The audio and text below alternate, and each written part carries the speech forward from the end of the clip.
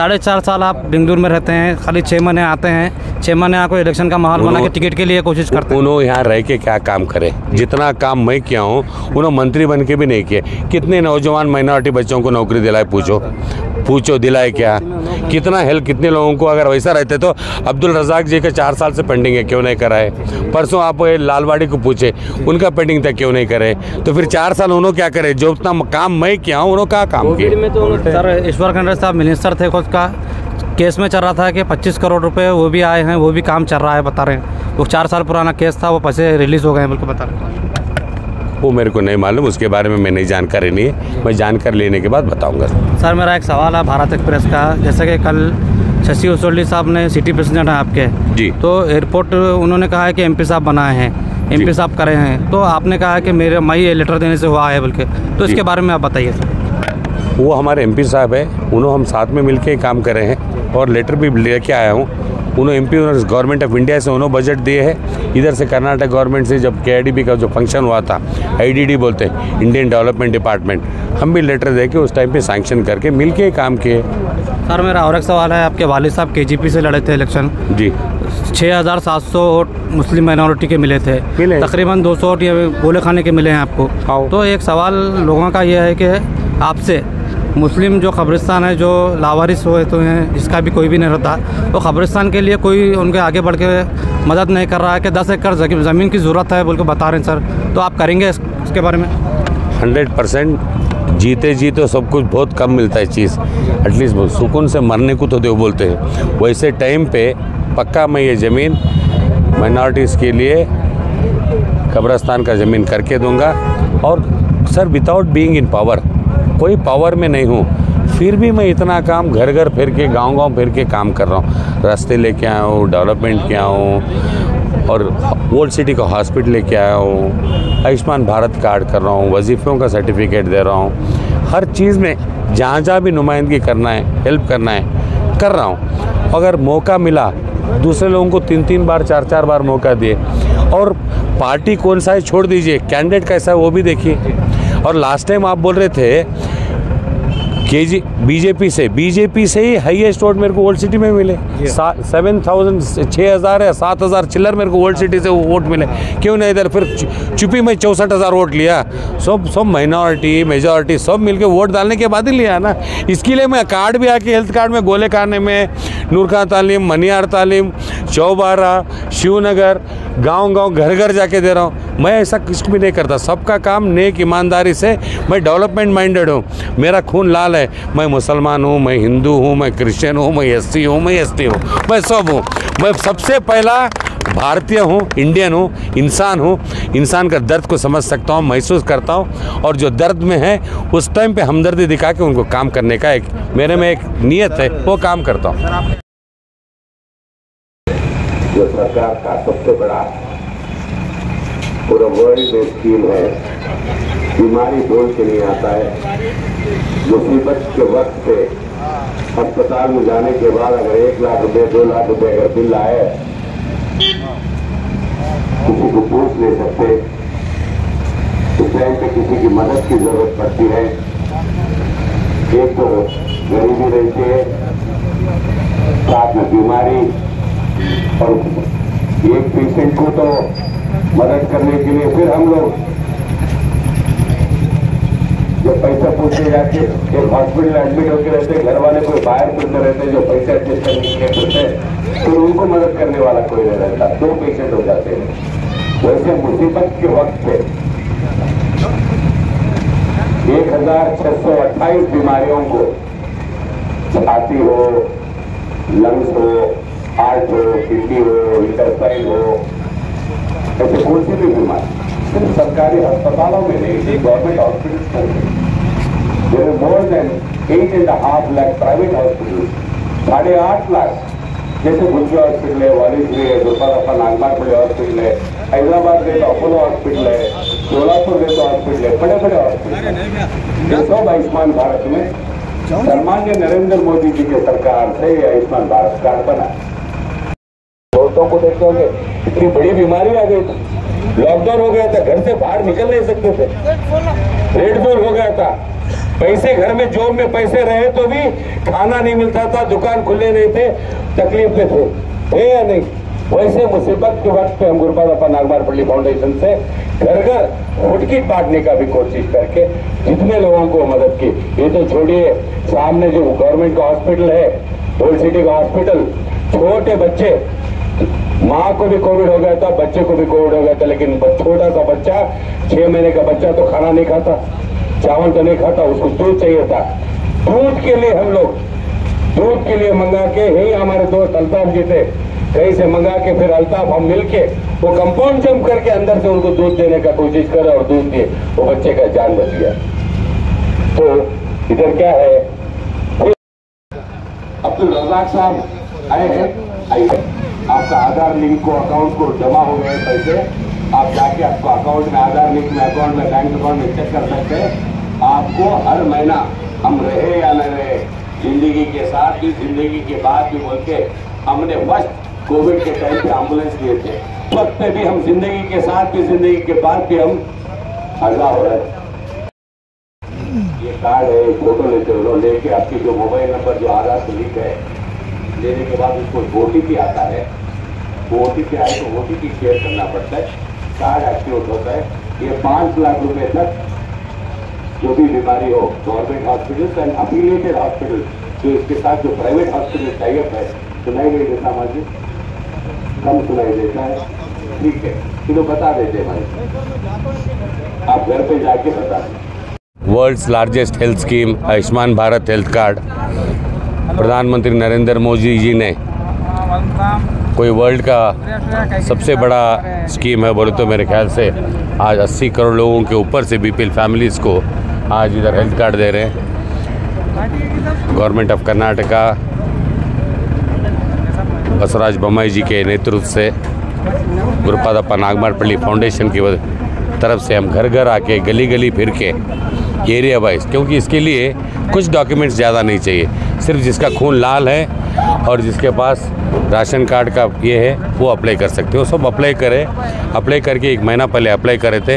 हमें उसको ऑनलाइन डाल के एप्लीकेशन डाल के प्रोसेस करा के, अभी वो स्मार्ट कार्ड बना के कार्ड भी बना के, उनको घर तक आके, उन एरिया एरिया घर घर, गली गली फिर के वापस डोर टू डोर डिलीवरी करने का काम कर रहे हैं। ये हेल्थ कार्ड से क्या होता है, एक हज़ार छः सौ अट्ठाईस बीमारियों को ये मदद होता है। तकलीफ़ के समय पे एक हेल्थ बेनिफिट मिलता है। और इसका इस्तेमाल सब लोग भी कर रहे हैं। अब ऑलरेडी आके दिए, ये एक बार एक्टिवेट हो गया, चार पाँच दिन में एक्टिवेट होता है। होने के बाद ये हेल्थ कार्ड खाली गवर्नमेंट हॉस्पिटल्स में नहीं प्राइवेट हॉस्पिटल्स में अफिलेटेड हॉस्पिटल्स बोलते हैं उसको। जितने भी बिदर में प्राइवेट है गुदगी हॉस्पिटल है गुरुपादप्पा नागमारपल्ली हॉस्पिटल है वालीश्री है पराग भाई हॉस्पिटल ऐसे अनेक हॉस्पिटल है वासु हॉस्पिटल है ये सब अफिलिएट हो से। अफिलिएटेड हॉस्पिटल बीदर, सोलापुर, बम्बई, हैदराबाद, हर जगह। ये जाके इसका कार्ड का इस्तेमाल कर सकते हैं, उनको हेल्प होता है। साथ में हम, हलो कंदाय सचिव बोल के government of Karnataka revenue department से revenue minister R Ashok ji ने स्कीम खोला। बहत्तर घंटे में जो विधवा पेंशन है बेवाओं का पेंशन है विडो पेंशन है ओल्ड एज है हैंडीकैप है, घर तक जाके उनका एप्लीकेशन लेके दो बोले। आपके सामने अभी मैं अब्दुल रज़ाक जी का और नुसरत बेगम जी का, ऐसे घर घर हाँ बहुत एरिया में तीन तीन साल से चार चार साल से जिनका पेंडिंग था घर घर जाके हम ही एरिया वाइज जाके उनको घर तक देते देने का काम भी कर रहे हैं। सर मेरा एक सवाल है भारत एक्सप्रेस का। जैसे कि कल शशि उसोल्डी साहब ने सिटी प्रेसिडेंट हैं आपके। जी। तो एयरपोर्ट उन्होंने कहा है कि एमपी साहब बनाए हैं। एमपी साहब करे हैं। तो आपने कहा है कि मेरे मैं ये लेटर देने से हुआ है बल्कि। तो इसके बारे में आप बताइए सर। वो हमारे एमपी साहब है। उन्होंने हम साथ में मिलके काम करे हैं और लेटर भी लेके आया हूँ। उन्होंने M MP government of India से उन्होंने बजट दिए है। इधर से कर्नाटक गवर्नमेंट से जब के का जो फ़ंक्शन हुआ था आईडीडी बोलते हैं इंडियन डेवलपमेंट डिपार्टमेंट हम भी लेटर दे के उस टाइम पे सैंक्शन करके मिल के काम किए। सर मेरा और एक सवाल है आपके वालिद साहब के से लड़े थे इलेक्शन जी। छः हज़ार सात सौ वोट मुस्लिम माइनॉरिटी के मिले थे। मिले। तकरीबन दो सौ वोट ये गोले खाने के मिले हैं आपको। हाँ। तो एक सवाल लोगों का यह है कि आपसे मुस्लिम जो कब्रिस्तान है, जो लावारिस हुए तो हैं जिसका भी कोई भी नहीं रहता। वो कब्रिस्तान के लिए कोई उनके आगे बढ़ के मदद नहीं कर रहा है कि दस एकड़ ज़मीन की ज़रूरत है बोल के बता रहे हैं, सर। तो आप करेंगे इस- इसके बारे में? हंड्रेड परसेंट जीते जी तो सब कुछ बहुत कम मिलता है चीज़। एटलीस्ट सुकून से मरने को तो दो बोलते हैं। वैसे टाइम पे पक्का मैं ये ज़मीन माइनॉरिटीज़ के लिए कब्रस्तान का ज़मीन करके दूँगा। और sir without being in power कोई पावर में नहीं हूँ। फिर भी मैं इतना काम घर घर फिर के गाँव गाँव फिर के काम कर रहा हूँ। रास्ते लेके आया हूँ डेवलपमेंट किया हूँ और ओल्ड सिटी का हॉस्पिटल लेके आया हूँ। आयुष्मान भारत कार्ड कर रहा हूँ, वजीफ़ों का सर्टिफिकेट दे रहा हूँ। हर चीज़ में जहाँ जहाँ भी नुमाइंदगी करना है हेल्प करना है, कर रहा हूँ। अगर मौका मिला, दूसरे लोगों को तीन तीन बार चार चार बार मौका दिए और पार्टी कौन सा है छोड़ दीजिए कैंडिडेट कैसा है वो भी देखिए। और लास्ट टाइम आप बोल रहे थे के जी बीजेपी से बीजेपी से ही हाईएस्ट वोट मेरे को ओल्ड सिटी में मिले। सेवन थाउज़ेंड छः हज़ार या सात हज़ार चिल्लर मेरे को ओल्ड सिटी से वोट मिले। क्यों नहीं इधर फिर चुपी में चौंसठ हज़ार वोट लिया? सब सब माइनॉरिटी मेजॉरिटी सब मिलके वोट डालने के बाद ही लिया ना। इसके लिए मैं कार्ड भी आके हेल्थ कार्ड में गोले खाने में नूरखा तालीम मनियार तालीम चौबारा शिवनगर गाँव गाँव घर घर जाके दे रहा हूँ। मैं ऐसा कुछ भी नहीं करता। सबका काम नेक ईमानदारी से मैं डेवलपमेंट माइंडेड हूँ। मेरा खून लाल है। मैं मुसलमान हूँ, मैं हिंदू हूँ, मैं क्रिश्चियन हूँ, मैं एस सी हूँ, मैं एस हूँ। मैं सब हूँ। मैं सबसे पहला भारतीय हूँ इंडियन हूँ इंसान हूँ इंसान का दर्द को समझ सकता हूँ महसूस करता हूँ और जो दर्द में है उस टाइम पे हमदर्दी दिखा के उनको काम करने का एक मेरे में एक नीयत है वो काम करता हूँ। सर आपने अभी कहा कि आप सेवन मस्जिद को फंड रिलीज़ करवाए। क्या आप एक दो मस्जिद के नाम बता सकते हैं सर? सर इधर पीछे ही काली मस्जिद का। और कॉपी का ऑर्डर कॉपी भी दे देता हूँ। एक कॉपी जिशान। जीशान भाई। जिशान। अली भाई के पास एक कॉपी लेटर है सबको एक एक ऑर्डर कॉपी भी दे दीजिए। खाली सिफारिश करे सो नहीं पैसे रिलीज़ हो सभी लेटर दे देता हूँ। हाँ, वो भी कॉपी देता हूँ। और साथ में जो खबरस्तान का बोले ना ये नन्हे बच्चों का छोटे बच्चों का खबरस्तान था उसको भी कंपाउंड बनाने के लिए भी पैसा रिलीज़ किया था वो भी देता हूँ। यहीं पीछे काली मस्जिद है ना उसको भी मैं रिलीज़ किया हूँ डेढ़ लाख रुपये और वहाँ के जो बुज़ुर्ग लोग हैं जो हाँ उनको भी बात करके जाके मिल के बात करने के बाद उनके शुक- उन्होंने शुक्रिया अदा करके एक फूल का माला भी पहनाए थे उस टाइम पे वो भी मुझे याद है। सर इधर की आवाम परेशान है। कल से आपका जो बयान चल रहा है हंड्रेड बेड हॉस्पिटल जो है आप बोलते हैं मैं बनाया। बिदर के विधायक रहीम खान साहब बोलते हैं मैं बनाया। तो क्या उन्हों- लगता है उन्हों पैसे- क्या मैसेज देंगे आप? सर मैं जाके फिर के उस टाइम पे चीफ मिनिस्टर कौन थे कहते हैं? पहले पूछ लीजिए एक बात। दूसरा सवाल रहा, अगर सिफारिश करे हैं, फंड लेके आना, डेवलपमेंट करना, दूसरी बात, अगर सिफारिश भी करे, सो अगर लेटर है तो दिखा दो, बोलो। अगर झूठा डुप्लीकेट लेटर दिखा दे तो फॉरेंसिक डिपार्टमेंट को देके वो कितने दिन पुराना लेटर बोल के चेक करा देता हूँ। ओरिजिनल लेटर दिखाना पड़ता है। और जहाँ तक बोले ओल्ड सिटी का, इसको बड़ा बड़ा बना देता हूँ। एक बार पढ़ लीजिए, गवर्नमेंट ऑफ़ कर्नाटका का लेटर है। ये सिम्बल दिख रहा है। दिख रहा है। दिख रहा है तारीख। इसका भी कॉपी बोले तो मिल जाता। है तारीख इसका भी कॉपी ओरिजिनल कॉपी सबको एक कॉपी डाल देता हूँ दिख रहा है। कॉपी दिख रहा है। ग्यारह बारह। हाँ, ये टिप्पणी देख रहे हैं। ये नाम देख रहे हैं कन्नड़ा में।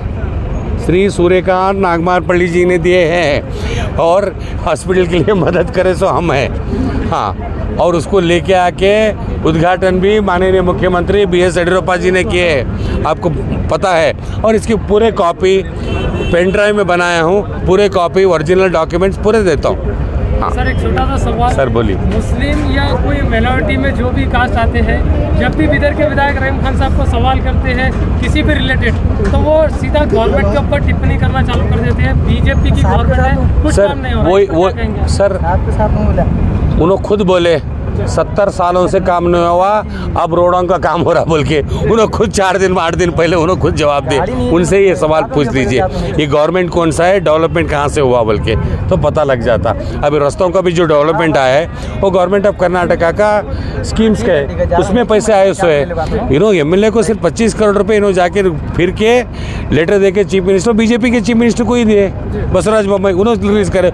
उसको छोड़ के बाकी जो है नगरोत्थान का है वो फंड में हुआ है। के के का फंड है उसमें डेवलपमेंट चल रहा है।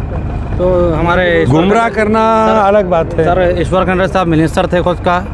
केस में चल रहा था कि 25 करोड़ रुपए वो भी आए हैं वो भी काम चल रहा है बता रहे हैं। वो चार साल पुराना केस था वो पैसे रिलीज़ हो गए हैं बिल्कुल बता रहे हैं। वो मेरे को नहीं मालूम उसके बारे में मैंने जानकारी नहीं है। मैं जानकारी लेने के बाद बताऊँगा सिद्धरामैया सिद्धरामैया जी ही दिए हैं ये बजट कोई और नहीं दिए हैं। ऐसा कहना है के विधायक सर अभी गवर्नमेंट कौन सा है सर?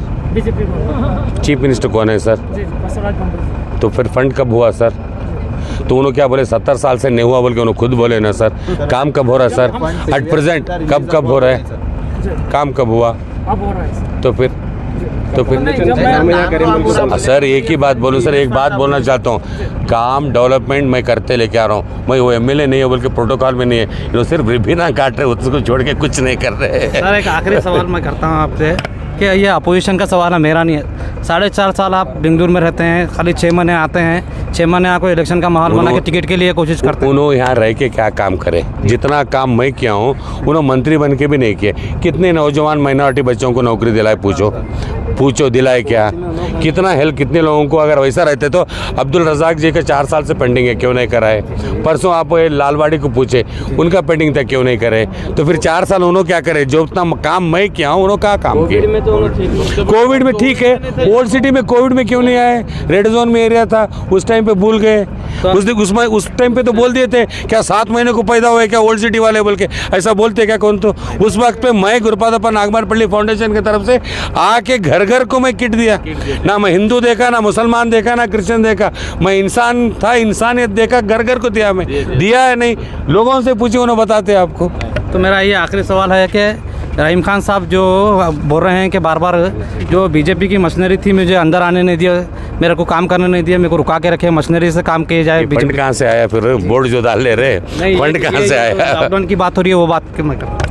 लॉकडाउन का सवाल है कि बीजेपी की मशीनरी थी मेरे को अंदर आने नहीं दिए। कौन सी मशीनरी? डिपार्टमेंट रुका के रखा था मेरे को। एक बात बोलो सर। कितने बार असेंबली में तो जाने को देते?